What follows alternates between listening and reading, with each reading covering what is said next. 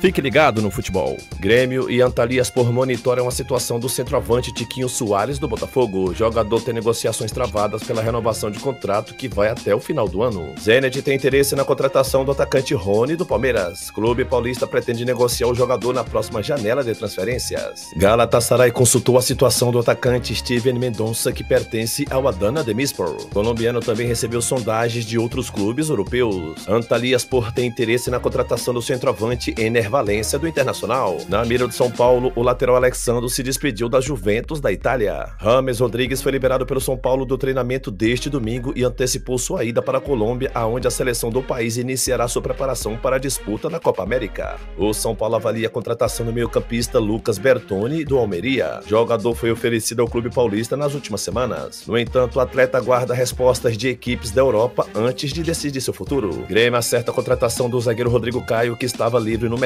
após deixar o Flamengo. Nos últimos dois anos, o atleta de 30 anos disputou apenas 25 jogos, além disso, estava parado há cinco meses. Fluminense encaminhou a contratação do meio-campista Rader Quinhões do América de Cali. Clube colombiano deve exercer a opção de compra do jogador. No entanto, já existe um acordo verbal para repassar o atleta ao tricolor na metade da temporada.